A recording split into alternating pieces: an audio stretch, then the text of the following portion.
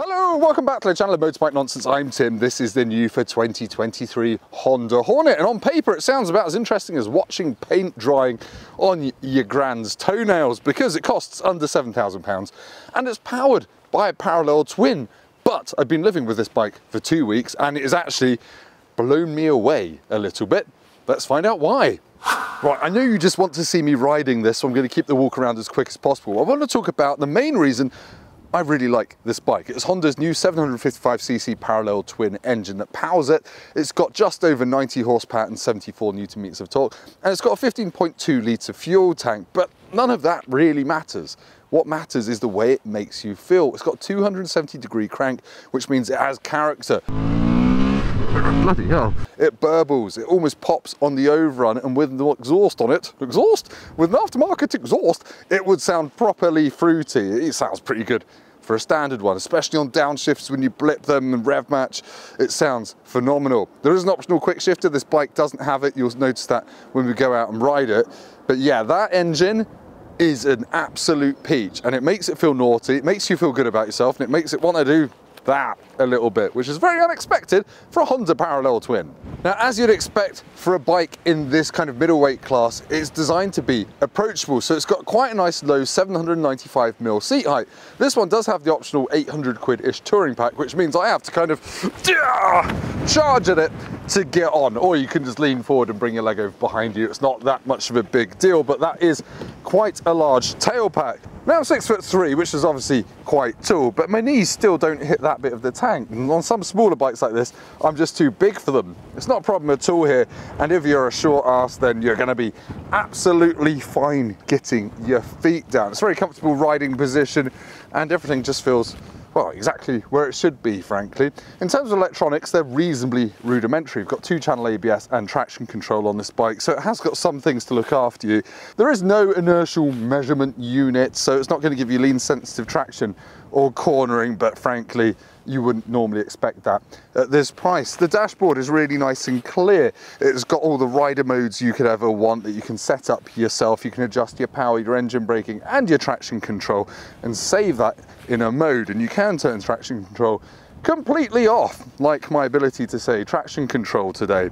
It shows you things like your fuel consumption, your trip, the various bits that you can cycle through. It's got a fuel gauge, rejoice, now obviously this bike has been built down to a price, but everything you touch with your hands feels pretty good. I love the fact it's got digital dashboard, that's quite unusual on a bike in this class. It's got span adjustable brake and clutch lever.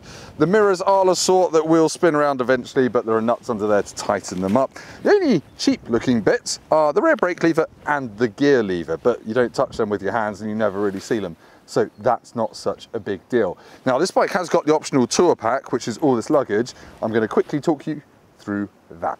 Mm, mm, mm, now, as I mentioned earlier, this bike's got a 765 pound touring pack on it, which comprises a three litre tank bag, some hard panniers at the side, well, they're semi-hard, it's got a bit of a semi on, and this big expandable tail pack. And to be honest, I don't think they're waterproof, but they do each come with its own waterproof overcover. But my experience, those can blow off and rip when you're really going for it in Germany, but they should be fine in the UK. I'll just quickly show you the panniers. They unzip like this as a car comes past. Come on, Suzuki Ignis nice choice, but it's not Honda. So yeah, they've got waterproof covers inside.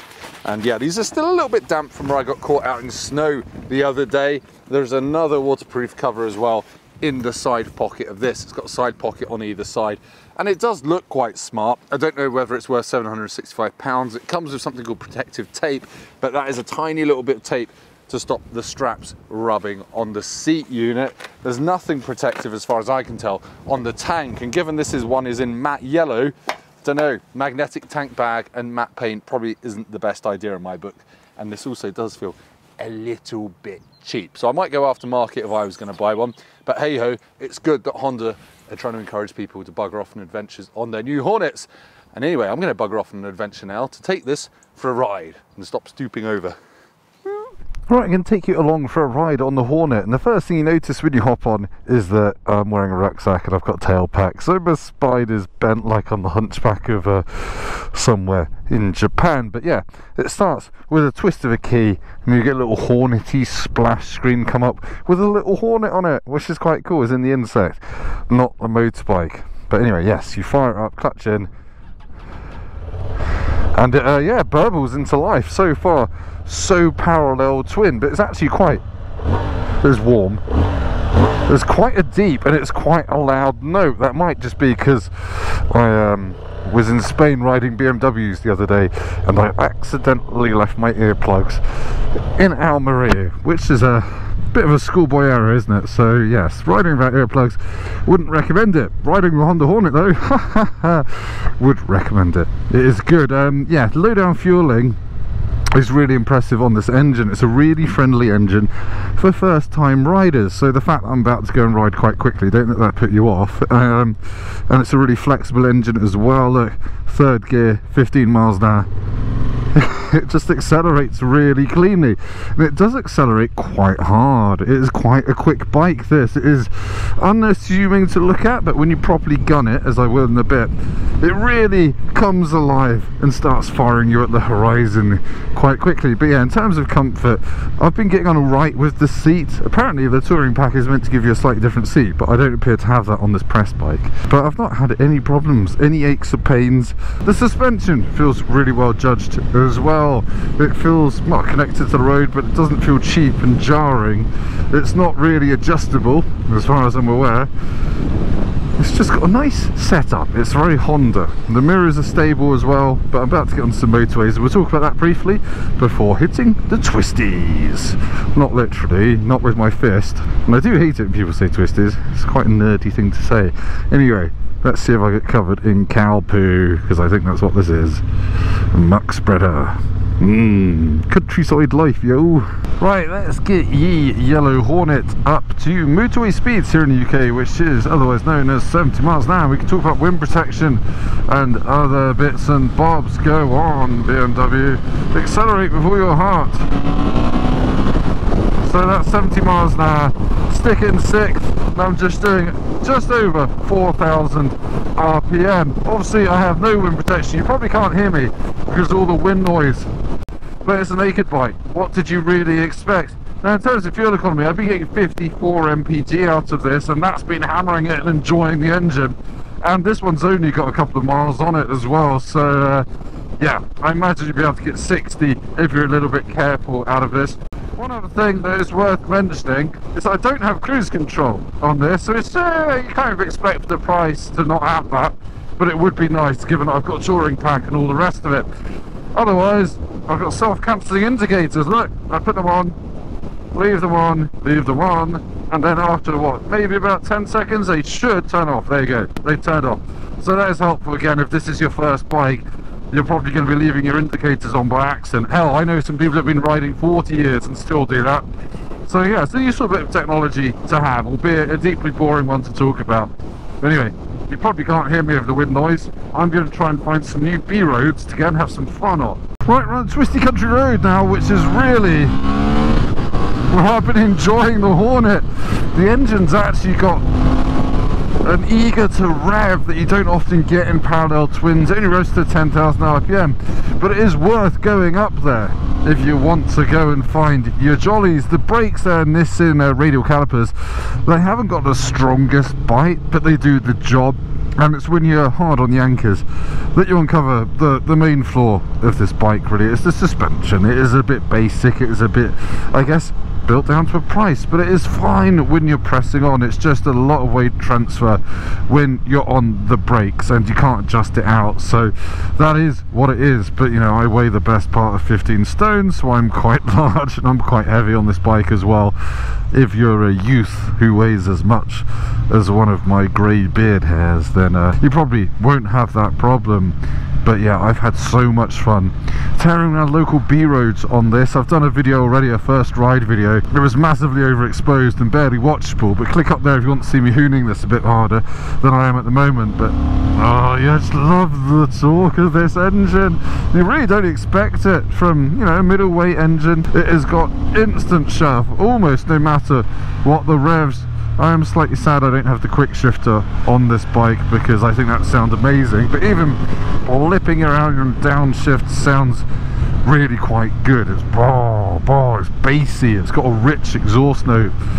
Oh it's, it's pretty damn good this bike. I can't really think of anything to criticize it for when you consider the price point. Seven thousand pounds you're getting a lot of bike for that. You're getting that digital dashboard that you just don't get on things that cost well three grand more if you're a Triumph Street Triple R even the new one. And you're getting some naughtiness as well. If you want to experiment with perhaps wheelies this is a very good bike to practice on you can uh, bounce it up off the suspension, clutch it up, what have you, and it's just got a real eager character to it. When you start riding it hard, when you're mid-corner, going for it quite hard, you will feel the suspension wallow about. Again, might be down to my weight as much as anything else, but you've got confidence in it.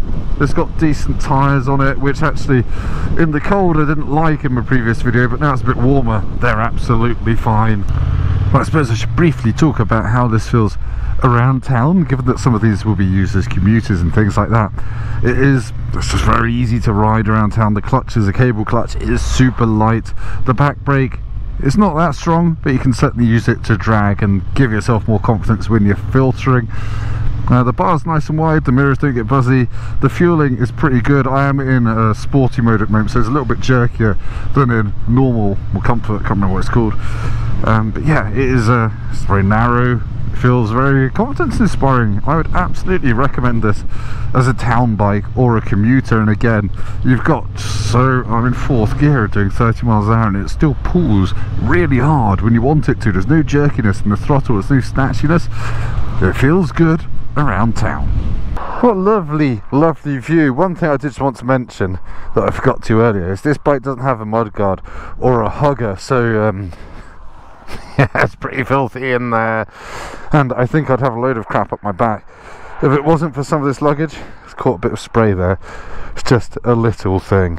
But yeah, cool bike otherwise. Oh yeah, I quite like the yellow.